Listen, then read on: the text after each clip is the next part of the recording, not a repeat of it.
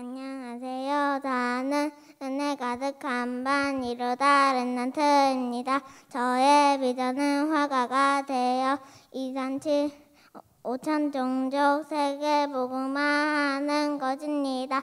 저를 위해 기도해 주세요. 성경 말씀은 사도행전 1장 6절에서 8절입니다. 제가 말씀을 봉독하겠습니다. 그들 이르되 주께서 이스라엘 나라를 회복하심이 하심이 이때이니까 하니 이르시되 때와 시기는 아버지께서 자기의 권한에 두셨으니 너희가 알 바 아니요. 오직 성령이 너희에게 임하시면 너희가 권능을 받고 예루살렘과 온 유대와 사마리아와 땅끝까지 이르러 내 증인이 되리라 하시니라 아멘. 아멘.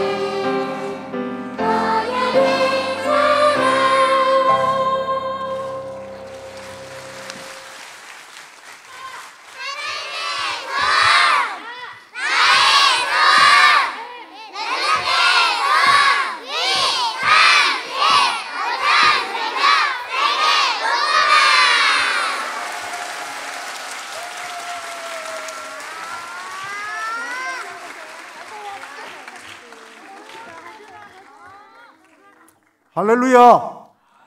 한 번 더 하겠습니다. 할렐루야. 감사합니다.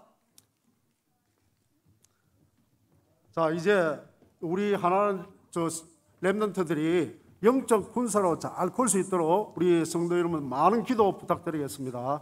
이제 목사님 나오셔서 나의 영상 회복과 237이라는 제목으로 맛을 주실 텐데 나오실 때 큰 박수로 맞이하겠습니다.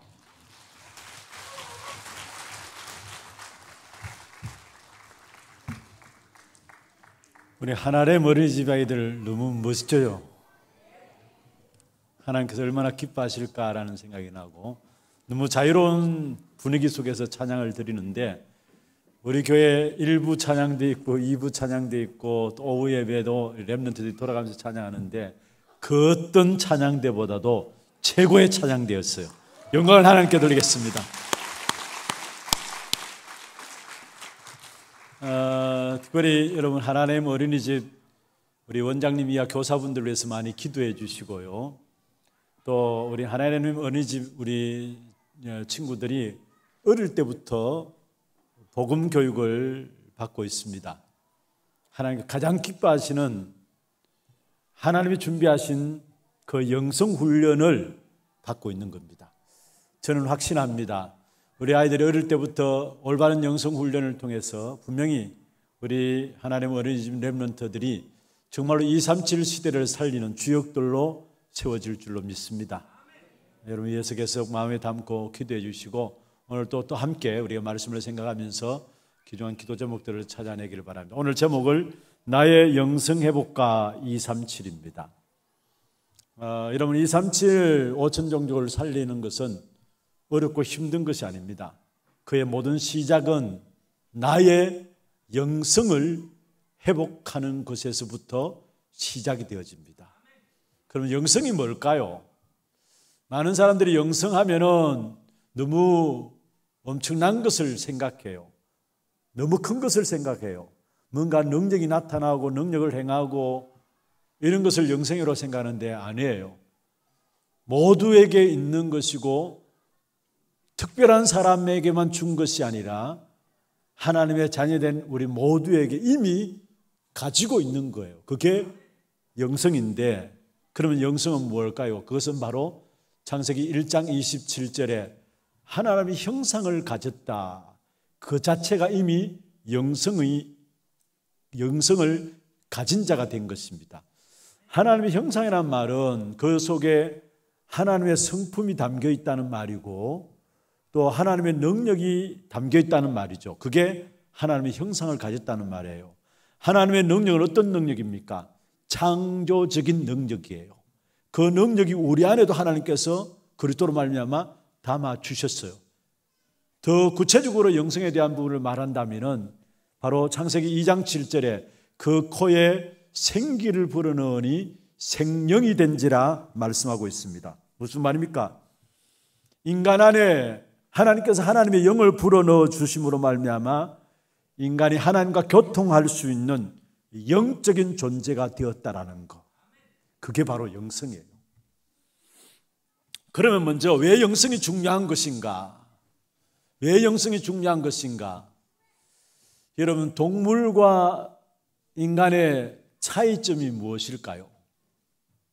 동물도 감정적이고 감정의 지혜가 있고요.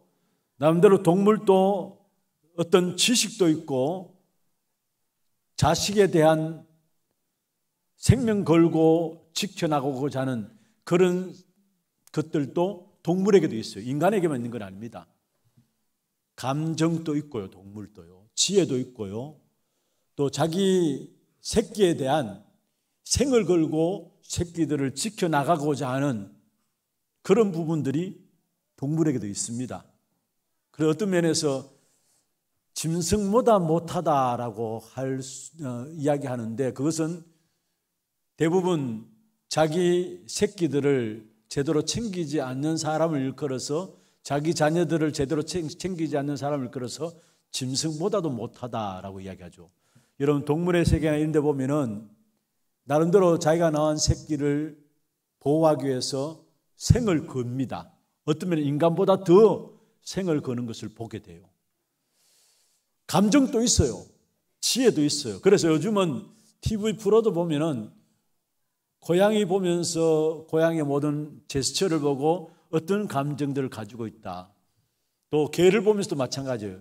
여러분 요즘 애완견을 키우는 것들이 이 모든 일반화되어 가지고 오히려 방송에도 나와서 개의 상태를 보고 개의 감정을 보고 그거를 이야기해 주고 하더라고요.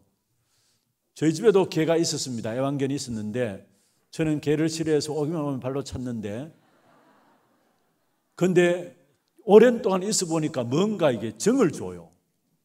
아, 그게 쉽게 뜯어내지를 못하겠더라고요. 그러면서 보니까 나름대로 개 나름대로 집안에 순위가 다 있어요. 이렇게 자기가 제일 좋아하는 순위가 딱 있어요. 근데 늘 저는 이제 개를 싫어하니까 제일 마지막 순위였는데 근데 개가 이렇게 지나가는 걸 보고 우리 집 사는 같은 경우에는 지금 개가 웃는다예요. 제가 보기에는 뭐 웃는가 싶은데 개가 웃는다예요. 여러분 나름대로 개도 여러분 RQ도 있고요. 나름대로 지혜도 있고 감정도 다 있어요.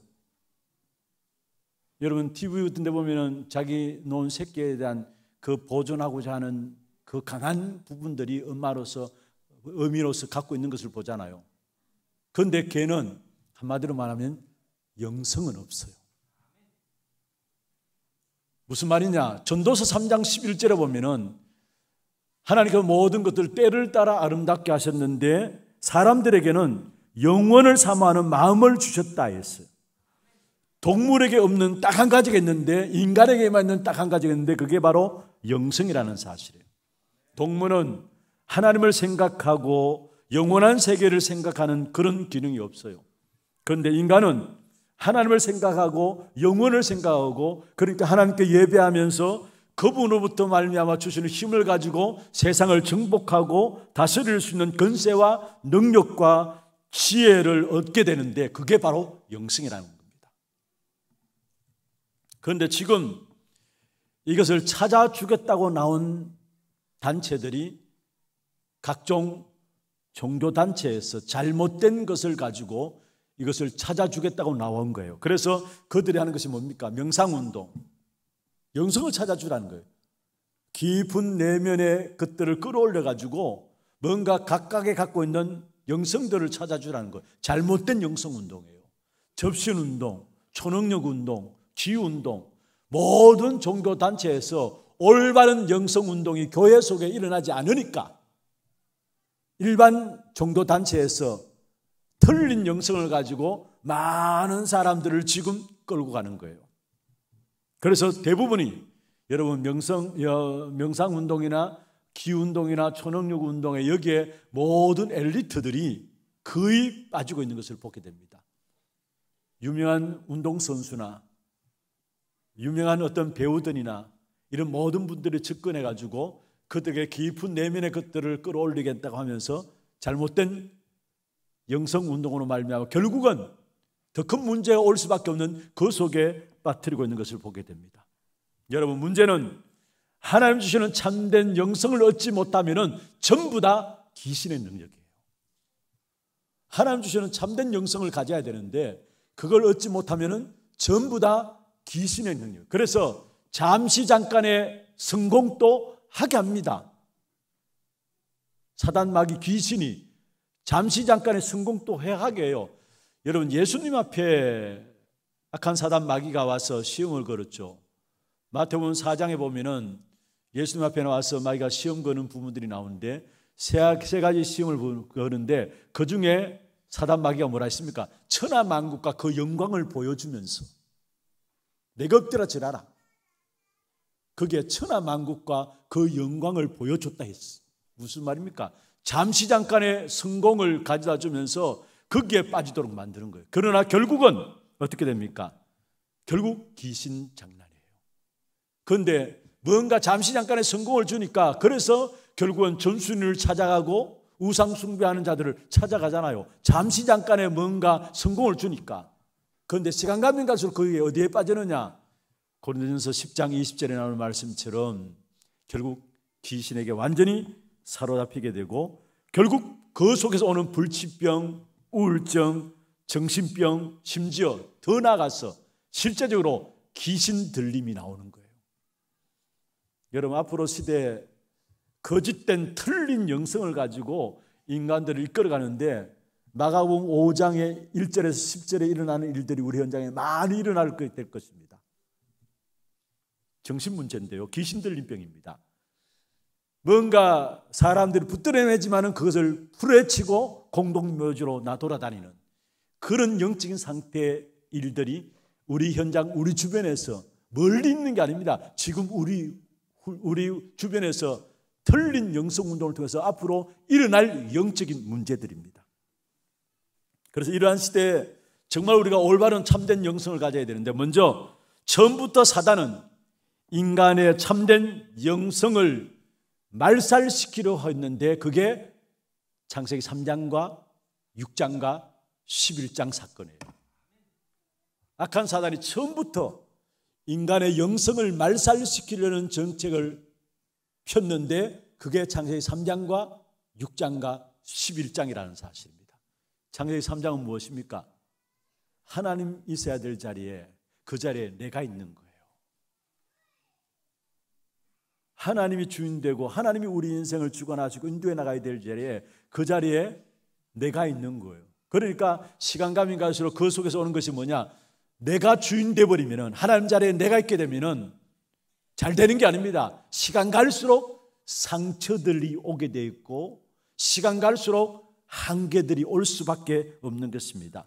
그리고 내가 주인 되어 있으니까 많은 갈등들과 다툼들과 불안함과 염려와 낙심과 절망이 매일매일 관계 속에 일어나는 겁니다. 왜냐? 하나님 주인 되어야 되는데 그 자리에 내가 주인 되어 있으니까 그래요.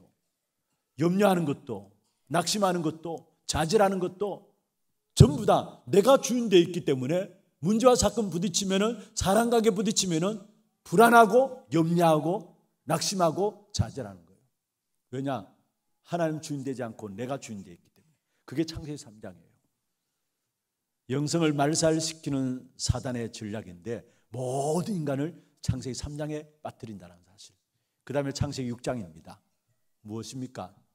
하나님의 아들들이 사람의 딸들의 아름다움을 보고 무슨 말이에요? 전부 사람의 기준이 육신 기준이에요. 그게 내피리 운동입니다. 모든 사람의 기준이 육신, 육신 기준이에요. 그러니까 결국은 시간 가면 갈수록 열심히 사는데 내피림 가운데 빠질 수밖에 없어요. 그래서 하나님께서 노아 시대에 그 네피림 시대 네피림에 빠진 노아 시대에 모든 사람을 지으셨음을 한탄하사 홍수로 심판하기로 결단한 거예요. 여러분 지금 이게 창세기 6장 사건이 성경에 있었던 옛날 이야기가 아니라 지금 우리 현장에 그대로 일어나고 있는 일들이라는 사실. 음, 사실은 참된 영성을 말살시키는 사단의 전략이에요. 그 다음에 세 번째로 바로 창세기 11장 사건입니다. 무슨 말입니까? 인간의 힘으로 최고의 탑을 쌓아서 하나님의 이름을 높이는 것이 아니라 그게 우리의 이름을 내자는 거예요. 결국은 바벨탑 운동은 귀신 운동입니다. 그런데 그 귀신 운동인 바벨탑 운동은 창세 11장에 있었던 것만 아니라 시대 시대마다 최고의 자리에 자기의 이름을 내기 위한 바벨탑 운동이 계속 있어 왔어요. 귀신 운동이 계속 있어 왔어요. 바벨탑 운동은 한마디로 말하면은 귀신을 높이는 귀신을 그 자리에 놓는 운동이 바벨탑 운동입니다. 그래서 창세기 3장과 6장과 11장 우리가 말씀들을 계속해서 듣고 왔습니다만은 이것이 우리 안에 하나님 주시는 참된 영성을 말살시키는 사단의 전략이라는 것. 그렇다면은 참된 영성은 무엇이냐? 여러분 어렵고 힘든 것이 아닙니다. 대단하고 굉장한 것이 아닙니다. 가장 기본적이고 근본적인 것이 참된 영성인데 하나님 우리에게 참된 영성을 회복시키기 위해서 주신 이름이 바로 그리스도입니다. 그 그리스도께서 참된 왕으로 참된 제사장으로 참된 선지자로 오셔서 우리의 잃어버렸던 참된 영성을 하나님이 주신 영성을 회복할 수 있도록 길을 여신 겁니다. 여러분 그리스도는 우리 대신 십자가에 죽어 주심으로 말미암아 우리의 모든 죄의 문제를 해결하셨고요. 그래서 로마서 8장 1절에 그리스도 안에 있는 자는 결코 정죄함이 없나니 말씀하시면서 2절에 보면 생명의 성령의 법이 죄와 사망의 법에서 너를 해방하였습니다. 참 제사장으로 서서 내가 죽어야 되는데 우리의 죽음을 대신함으로 말미암아 우리를 죄와 사망의 법에서 해방시켰습니다. 그뿐만 아닙니다. 지금 또 눈에 보이지 않게 우리 인간들이 육신 중심으로 내 기준으로 내 영심으로 내 계획으로 살아가서 무너질 수밖에 없도록 만드는 그 배우 있는 사단의 머리를 깨뜨린 분으로 참 왕으로 그리스도께서 오신 것입니다. 그래서 요한일서 3장 8절에 하나님의 아들이 나타나신 것은 마귀의 일을 멸하기 위함이라.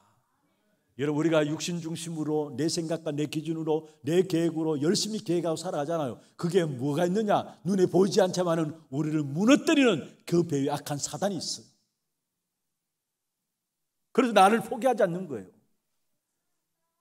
뭔가 내 기준들, 내 생각들 전혀 내려놓지 않는 거예요.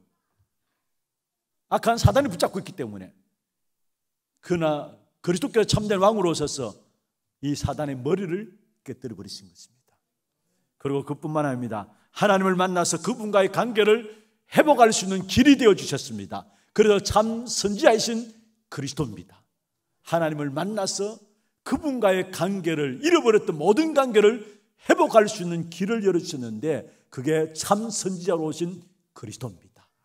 그래서 성계 요한복음 14장 6절에 내가 곧 길이요 진리요 생명이니 나로 말미암지 않고는 아버지께로 올 자가 없느니라 이 그리스도를 영접하게 될 때 영이신 하나님이 내 속에 들어와요 성령이 나와 함께 하세요 이것이 영성의 시작입니다 참된 영성의 시작은 뭐냐? 그리스도로 말미암아 참 왕이요 참 제사장이요 참 선자이신 그리스도를 영접함으로 하나님의 성령이 내 안에 들어오는 것. 그게 참된 영성의 시작입니다. 그래서 고린도전서 3장 16절에 말씀하고 있잖아요. 너희가 하나님의 성전인 것과 하나님의 성령이 너희 안에 거하시는 것을 알지 못하느냐? 참된 영성의 시작이 그리스도로 말미암아 성령이 내 안에 거하심으로 시작되었어. 그리고 요한복음 14장 16절 17절 말씀하고 있습니다.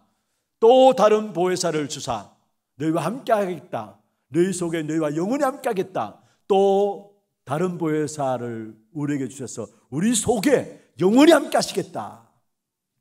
그리고 사도행 1장 8절에 보면은 오직 성령이 너희에게 임하시면 너희가 권능을 받고 예루살렘과 온 유대와 사마리아 땅 끝까지 이르러 내 증인이 되리라. 예수 그리스도 영접하게 될 때 하나님의 성령이 내 안에 들어오시고 그 사실을 알고 믿음으로 붙잡고 기도하게 될 때 나면의 시간을 가지며 집중하며 기도하게 될 때 그 속에서 참된 영권의 역사들이 영적인 힘이 나타나는 것입니다. 여러분 분명히 기억하세요. 다른 데 가서 영성 얻기 위해서 기웃거리지 마세요. 그리스도를 영접했습니까? 이미 여러분의 참된 영성이 시작된 거예요. 뭔가 능력을 행해야 됩니까? 뭔가 병을 고치고 뭔가 예언을 하고 여러분 그건 그 다음 일이고요. 하나님의 역사 속에서 참된 영성을 가질 때 잘못된 틀린 영성을 가져도 귀신도 잠시 잠깐 능력을 행한다, 행하게 한다니까요. 그게 쏙지 말아야 합니다. 우리는 참된 영성이 어디서 오느냐? 다른 것이 아니라 그리스도를 영접함으로 말미암아 성령께서 내 안에 들어오신 그 순간부터 이미 참된 영성이 시작된 겁니다. 이 영성은 구원받은 하나님의 사람이 누려야 될 최고의 축복이에요. 영성은 구원받은 하나님의 사람들이 누려야 되는 최고의 축복이라는 사실. 나이가 상관없어요. 여러분 성경에 보면은 사무엘은 어릴 때부터 영성을 준비한 사람이에요. 언약계 옆에 자면서 여러분 그 당시에 언약계 옆에서 자면서 제사장을 훈련을 받으면서 영성이 준비된 사람이 어릴 때 사무엘뿐만 아니라 여러분 다윗도 마찬가지고 요셉도 마찬가지입니다. 어릴 때부터 이미 하나님 중심 영성을 가진 나이가 상관없다는 사실. 보면은 모세는 이미 나이 늦음하기. 엘리야나 엘리사도 마찬가지고 전부 그런 사람들은 어쩌면 나이 늦음하게 영성을 가지고 영적인 힘을 누리며 살아갔는데 영성은 나이와 상관없다라는 사실. 그리고 참된 영성을 누리면은 여러분 어떤 일을 하든지 간에 그 일들이 귀중한 열매들로 드러나는데 크고 비밀한 열매들로 여러분 아무런 능력과 배경이 없어도 상관없습니다. 참된 영성을 붙잡고 기도하고 누리면은 작은 것이랄지라도 큰 열매들로 나오게 됩니다. 이사야 60장 22절에 작은 자가 천을 이루고 약한 자가 강국을 이룰 것이다. 이게 참된 영성 가진 자가 가지는 힘입니다. 보잘 것 없는 것 같은데 아무것도 아닌 것 같은데 그게 천을 이루고 그게 강국을 이루는 겁니다. 다시 말하면은 진짜 영성을 갖게 되면은 여러분 작은 일에 헌신했는데 그게 큰 하나님의 역사로 나타나요. 여러분 이런 영성을 가진 사람들이 이 시대에 필요해요. 정말 내가 주어진 자리에서 올바른 영성을 가지고 헌신함으로 그 헌신을 통해서 많은 사람들을 살리는 하나님의 증거를 나타내 볼 수 있는 하나님의 영성을 가진 자가 필요한 것입니다. 하나님이 이 영성을 주시기 위해서 주와 여러분에게 그리스도를 통해서 하나님의 형상을 회복하신 줄로 믿습니다. 그리고 이 참된 영성을 가지면은 세 가지가 바뀌어집니다. 세 가지가 바뀌어지는데 여기에 흑암의 역사들이 무릎 꿇게 되는 역사가 일어나는데 먼저 첫 번째로 뭐가 바뀌어지느냐? 내 생각의 기준이 바뀌어져요. 참된 영성을 가지면은 내 생각의 기준이 바뀌어지는데 나 중심에서 그리스도 중심으로 이제까지는 모든 것이 내 중심이었는데 내 생각의 기준이 그리스도 중심으로 다시 말하면은 하나님의 계획 속으로 들어가게 돼요. 그게 참된 영성을 가질 때 나오는 결과입니다. 두 번째로 내 인생의 수준이 달라져요. 지난 날은 전부 다 보고 생각하고 판단하고 말하는 것도 육신 중심이었는데 정말 참된 영성이 내게 임하면은 하나님 나라 수준으로 들어가게 되고 하나님 나라 수준이 되어지는 거예요. 육신 중심이 아니라 하나님의 나라의 수준으로. 육신 수준이 아니라 하나님 나라의 수준으로 참된 영성을 가지게 될 때 바뀌어지기 시작하는 겁니다. 세 번째로 내 삶의 표준이 바뀌어지는데 세상 중심에서 성령의 능력 속으로 들어가게 됩니다. 자, 그리스도 기준이 되어지고 결국은 하나님의 나라의 수준으로 들어가고 성령의 능력 수준으로 들어가면은 여기에 흑암의 역사들은 물러가지 말라 해도 우리 앞에 무릎 꿇게 되는 역사가 일어나게 됩니다. 이 올바른 참된 영성을 갖게 될 때 바로 그게 보좌와 통하는 거기 때문에 나의 영성을 회복한과 더불어 그 순간에 이미 그것은 237과 통하는 것이 돼요. 그래서 오늘 제목을 나의 영성 회복과 함께 237이라 했습니다. 여러분, 여러분 이 자리에 참된 영성을 회복하게 될 때에 여러분은 세계 나가지 않고서도 세계 복음하는 237의 귀한 축복을 누리게 되는 귀중한 응답이 일어나게 될 것입니다. 말씀을 맺겠습니다. 에베소 1장 13절에 보면은 그 안에서 또한 믿어 약속의 성령으로 인치심을 받았다 했어. 그리스도로 말미암아 우리가 믿어가지고 그 안에서 약속의 성령으로 우리 한 사람 한 사람을 도장 찍었다 했어. 무슨 말입니까? 그분이 주시는 참된 능력이 우리와 함께 하신다는 사실. 그 참된 영성을 회복함으로 말미암아 이 한 시대 정인의 삶을 회복하는 축복된 응답이 있기를 주의 이름으로 축원합니다. 나의 영성이 회복되는 만큼 내가 알고 기도로 누리는 만큼 우리의 삶이 정인의 삶이 되는데 작은 것 같지만은 그게 큰 증거로 나타나게 됩니다. 그게 올바른 영성을 갖게 될 때 일어나는 축복이에요. 하나님은 틀린 영성으로 많은 사람을 미혹하는 이러한 시대에 올바른 복음인 그리스도를 집중할 수 있도록 하셨다는 것. 그 그리스도 집중만 하면 하나님의 성령이 내 안에 역사하는 그게 올바른 영성의 시작이라면은 그러면 날마다 우리는 그리스도 그 이름만 붙잡고 기도하고 나가면 되는 겁니다. 그게 우리의 기준과 수준과 표준이 다 달라지면서 그 앞에 허감이 물을 끓게 되면서 참된 하나님의 능력이 나타나면서 237 나라 살리는 정인의 삶이 되어지는 것입니다. 이 축복이 어릴 때일수록 좋아요. 어릴 때일수록 뭔가 우리는 복음 복음 이야기하지만 그리스도 그리스도 이야기하지만은 순간순간마다 우리는 다른 것이 자꾸 더 중요하게 생각하고 나도 모르게 우리의 기준과 우리의 수준과 우리의 어떤 표준이 다른 것으로 자꾸 잡혀요. 나도 모르게. 그래서 우리 하나님 어린이집이 왜 중요하냐? 지금 여러분 하나님 어린이집 아이들은요 아침에 등원하자마자 예배부터 드립니다. 그리고 어떤 세상에 어떤 학문들 가르치고 세상의 유치원에 가르치는 그런 게 아니에요. 정말로 복음 교육을 하고 있어요. 모든 것들을 복음으로 보고 우리 교사들이 기도하면서 아이들에게 다른 것 전달하지 않아요. 하나님의 것을 전달하고 있어요. 어릴 때부터. 그래서 중요한 것은 시대 시대마다 하나님의 큰 일을 감당했던 사람들은 물론 연세 드셔서 참된 올바른 영성 가지고 일한 사람도 많지만은 어릴 때부터 올바른 하나님의 영성을 가지고 준비된 사람들 한 시대 시대마다 큰 일을 감당한 사실을 보게 됩니다. 우리 하나님 은혜이 지금 렘런트들이 그 일에 지금 준비되고 있어요. 그 일에 우리가 심부름하고 있어요. 그래서 여러분은 한마디로 복받은 자입니다. 앞으로 여러분 한 사람 한 사람이 렘넌트 때문에 복받은 자로 인정될 겁니다.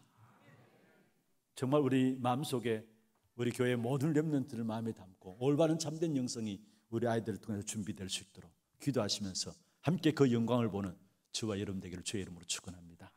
하나님 감사합니다. 틀린 영성을 가지고 사람들을 미혹하며 결국 귀신 들리게 하는 이러한 시대 속에서 참된 영성의 시작인 그리스도로 말미암아 하나님의 성령의 인도받는 귀한 축복 가운데 우리를 세워 주심을 감사함을 드립니다. 그리스도 그 이름의 비밀 속에 깊이 들어가고 누림으로 말미암아 정말로 작은 일을 보잘것없는 일을 한다 할지라도 하나님의 뜻이 이루어지는 구원받는 자에게 주시는 최고의 축복을 누릴 수 있는 귀한 저희들 되게 하여 주시고 정말로 나 중심에서 그리스도 중심으로 육신 중심에서 하나님 나라 수준으로 세상 중심에서 성령의 능력 속으로 들어갈 수 있는 우리 하나교회 모든 성도들 되게 하여 주옵시고 또 어릴 때부터 우리 하나님 어린이집이 이 하나님 주신 올바른 영성들이 회복되어지고 준비되어지는 귀한 축복이 있도록 역사하여 주옵소서. 일에 앞세우신 모든 우리 교사분들에게 정말로 하나님께서 전달할 수 있는 귀중한 마음들을 허락하여 주시고 올바르게 복음 교육에 해나갈 수 있는 영적인 힘을 덧입혀 주옵시며 또 함께 이 사역을 놓고 우리 부모님 된 자들이 기도하게 하시고 온 교회가 기도하며 렘넌트 시대를 준비하는 렘넌트들 말미암아 한 시대에 모든 정치, 경제, 사회, 문화를 바꾸어 나가는 주역들로 세워 나갈 수 있는 기중한 일에 헌신하는 우리 하나교회 모든 성도들에게 역사하여 주옵소서 살아계신 우리 구주 예수 그리스도의 이름으로 감사하며 기도드리옵나이다. 아멘. 지금 우리 인생의 모든 문제 해결하신 예수 그리스도의 은혜와 하나님 아버지의 말로 닿을 수 없는 사랑하심과 성령의 내 주인도 역사 충만하심이 그리스도로 참된 영성을 회복하고 그리스도 안에 주시는 참된 축복의 비밀들을 날마다 누림으로 사단을 무릎 꿇게 하는 이 일에 쓰임 받기를 원하는 사랑하는 죄종들 머리 위에와 또 특별히 우리 하나 RUTC 위에와 오늘 특별히 우리 하나님 어린이집 우리 중심으로 예배드리는 모든 하나님 어린이집 친구들 머리 위에 또 이를 위해서 수고하시는 우리 모든 원장님과 교사분들 위에 또 우리 하나교회 모든 성도들 위해 지금부터 영원토록 항상 함께 있을지어다.